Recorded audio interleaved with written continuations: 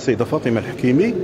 السيده فاطمة الحكيمي اللي متابعينها بالاتجار في البشر والنصب والتسول بأشخاص ثبتنا بأنها ما عندها علاقه لا بالمحسنين ما عندها كتستفد من أي مبالغ ما عمرها تعاملت مع شي محسن.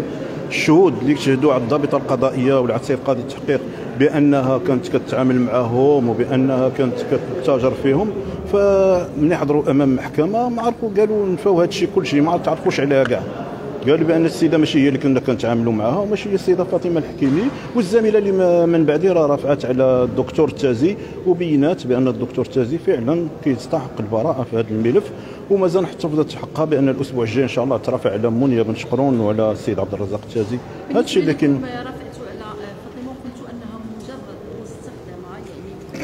يعني نعم في مكتب الاستقبال.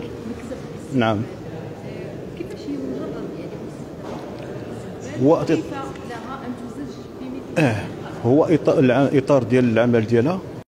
السيده من زكور قالت بأنه صاحب راجلها المتوفى كان سلفوا واحد المبلغ ديال 25 ألف درهم وجا بغى يعطيه ليه ديك الساعة. طلبت من السيدة ما كانتش بن زكور كانت فاس جدار ديال العزاء. طلبت منها أن تحتفظ بهذاك المبلغ تاخذه بالنيابة عليها تدير 7000 درهم لواحد الرضيع اللي كان كإحسان.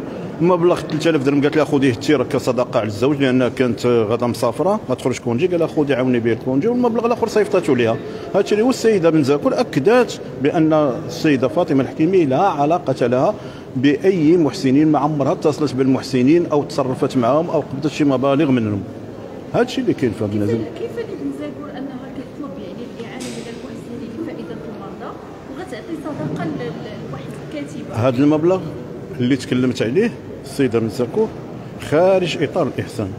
هذا مبلغ قالت بأن الزوج ديالها المتوفى كان سلفوا لواحد الأصدقاء ديالو. وجا هذا الصديق كيبري على الزوجه ديالو اللي سمع أنه من يسمع أنها أنه مات جا باش يرد لها هذا المبلغ. هذا هو الإطار اللي كاين. هي هذاك المبلغ ما بغاش تاخذه بغات تصدق به على الزوج ديالها. صدقت به على واحد من المرضى باطار مبلغ- بمبلغ 7000 درهم عاونت السيدة فاطمة لأنها خارجة ب 3000 درهم وهذا الشيء راه اكدته لا السيدة فاطمة الحكيمي لا السيدة من زكور في جميع المراحل سواء أمام الضبط القضائي ولا قاضي التحقيق ولا أمام المحكمة. ما تثبتش على السيدة فاطمة الحكيمي أنها كانت كتلتقط الصور ما التقطاتش. أحد المسؤولين بلا ما نذكر الاسم ديالو قال لها سيري عند فلانه قولي لها تلتقط الصور لواحد الطفل وتجيبهم ليا. مشات قالتها المسؤولة هي؟ ما التقطاش بلغت. ولكن هذاك الطفل اللي تلتقط ليه الصورة راه كان في الحجر ديال الأم ديالو وبالموافقة ديالو. والفصل 447 واحد من قانون الجنائي صريح بأن تكون تلك الصور التقطت بغير رضا الشخص. هنا كاين الرضا ديال الأم.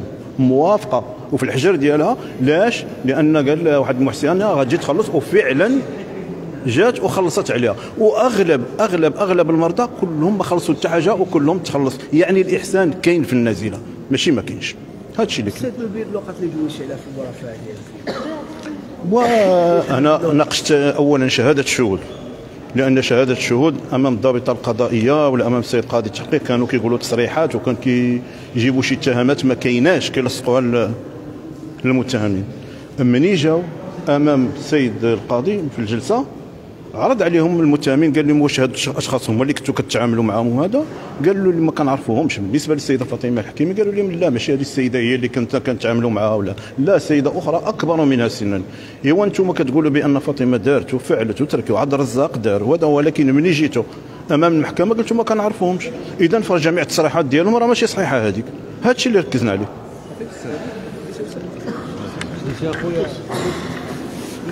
أستاذ بالنسبة لتهمه التجارة بالبشر اللي تلاحق تهمة التجارة في البشر غير متوفرة نهائيا في هذه النازلة تهمة التجارة في البشر أو جناية التجارة في البشر كتطلب أولا الضحايا. الضحايا ما كاينينش. كاين ناس محسنين عطاو فلوسهم في سبيل الله وتخلصت للمرضى كانوا مرضى مستفيدين كلهم ما كاينش اللي ما استفدش. إذا الضحايا بمعنى الكلمة ما عندنا حتى مسؤول مدني ما جا حتى شي واحد طرف مدني ونصب نفسه وقال لك بأنني أنا ضحية ولا هذا ما كاينش نهائيا. ثانيا أن جريمة التجار في البشر كتطلب الهدف ديال منها اشنا هو؟ هو الحصول على مبالغ مالية. هذا الشيء ما عندناش نهائيا. حنا بالنسبة للموكلة ديالي ما عمرها استفدت من مبلغ ما كاين حتى حاجة. النقطة الثالثة هو أن هذاك الشخص اللي غتخدمو كتسلب ليه الإرادة ديالو دير به اللي بغيتي. حنايا المرضى عندنا كانوا كيجيو. كيتعالجوا وكيخرجوا ما كيخلصوش حتى الخلاص.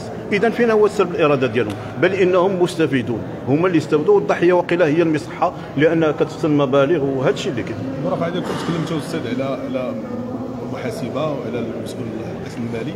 يمكن توضح لنا هذا الشق هذا القسم المالي القسم المالي خاص القسم المالي كاين قسم مالي أي مبالغ كتحط فيه كاين وصل. هذا الشيء اللي قلنا. ما يمكنش أن شي واحد يدفع شي مبلغ لشي جهة أخرى من غير القسم المالي ومقابل وصل. وكاين مصلحة ديال الفوتره كيشرفوا على جوج الموظفات. كل شيء مفوتر كل شيء مقاد. إلا كانت شي تلاعبات اكتشفتها النيابه العامه حنا راه باقي ما صبناهاش. هذا الشيء اللي كاين. أستاذ على ف- ما يخص قضيه النقد آه، محكمة النقد. النقد وما يخص هذه دور القضية عندنا أستاذ. قرارات ديال محكمة النقد. محك... آه، قرارات كنت آه، قلت جوج قرارات. القرار الأول كيتعلق بأن محاضر الضابطه القضائية ما جاء فيها أمام الجنايات يعتبر مجرد بيانات وكاين اجتهادات قضائية كثيرة في المغرب 21 آه آه.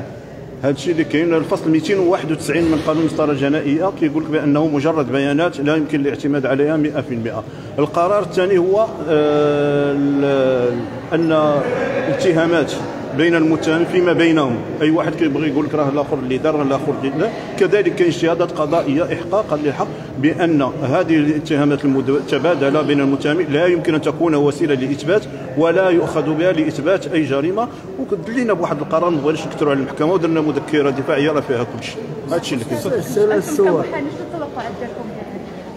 وغادي تكون البراءة وغتكون الإدانة. ولكن غادي يكون إن شاء الله خير. هذا الشيء هذا الشيء اللي كنشوفوا حنا. الله عليك شكرا. نعم استغلال الصور أستاذ سعيد منتصر. أستاذ بالنسبة للصور استغلال الصور. الصور اللي كانت تعرضت على ما بالنسبة للصور أنا الموكله ديالي بعيد الاستقبال بالنسبة للصور اللي كانت كتخاض فوق فكانت كتخاض وكانوا المحسنين كيأديو المبالغ وكانوا الناس كيستافدوا. هذا هو المهم. هو انهم كانوا كيستافدوا وكانت كتأدى المصاريف العلاجية ديالهم. ما كانش علاقه لا علاقة لا, لا بالصور لا بالمحسنين لا والو. هذا الشيء اللي كاين. شنو التهم اللي التجار في البشر. هادو هاد التجار في البشر جميع المتهمين داروها لهم في إطار عصابه إجرامية و... والنصب غير المشاركة في التجاره ماشي حتى التجاره المشاركة والمساهمة في التجاره في البشر على حسب المتهمين. كاين النصب كاين التسول كاين الإدلاء بيانات كاذبة كاين بزاف ديال الجنح على حسب المتهمين أنا بالنسبة لي السيدة فاطمة الحكيمي عندها ثلاثة تجار في البشر وعندها النصب وعندها الاستجداء هادو هما اللي كاينين عندهم ولم هي بلا réception وما ما عندهاش علاقة يعني بلا مصلحة الفوترة لا لا علاقة لا ما عندهاش بمصلحه بهذا لا ما عندهاش لا ما, ما, ما متابعاش بها لأن ما عندها علاقة بمصلحة الفوترة ما كتبدل ما كتغير لا في الفواتير لا والو شكون اللي كان مكلف بالفوترة ولا كاينين كاين كاين مكتب خاص كاينين فيه جوج. جوج هذا ما حضرنيش دابا الاسم ديالهم كاين فيه جوج. ولكن الأستاذ السناوي كينوب عليهم بجوج راه هو اللي غادي يكون عنده كل شيء. الله يبارك فيكم تبارك الله عليكم.